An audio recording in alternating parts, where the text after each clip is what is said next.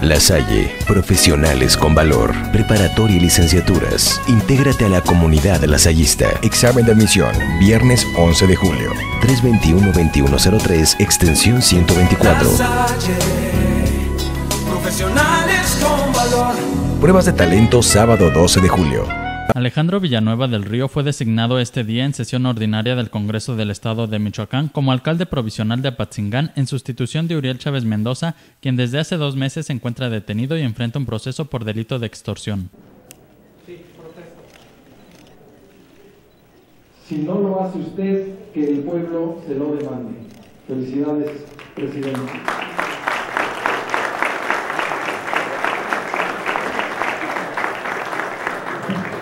Solicita a los diputados comicios. Al término de la ceremonia, Villanueva del Río afirmó no tener miedo de llegar a gobernar a Patzingán. Yo creo que todos los municipios son complicados.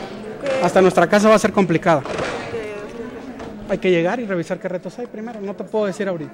Cabe señalar que Villanueva del Río estará a cargo de la alcaldía durante el periodo constitucional 2012-2015, en tanto el ciudadano Uriel Chávez Mendoza se encuentra en posibilidad legal de reincorporarse a su encargo mediante el trámite respectivo. Previo a la designación y en sesión solemne, el gobernador sustituto de Michoacán, Salvador Jara Guerrero, el presidente del Poder Judicial de Michoacán, Juan Antonio Magaña de la Mora, y Alfonso Martínez Alcázar, presidente de la mesa directiva del Poder Legislativo, develaron en el frontispicio de honor del recinto el nombre de Vasco de Quiroga con letras de oro.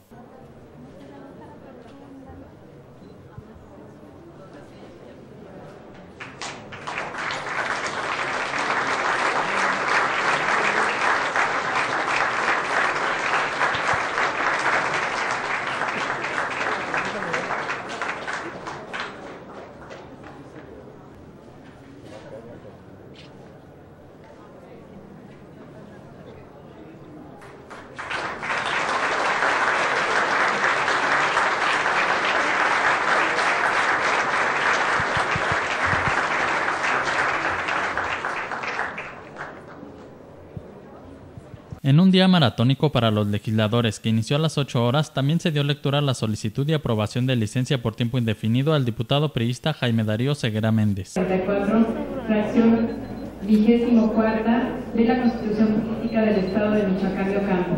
Agradeciendo de antemano sus atenciones, quedo de usted como su atento y seguro servidor.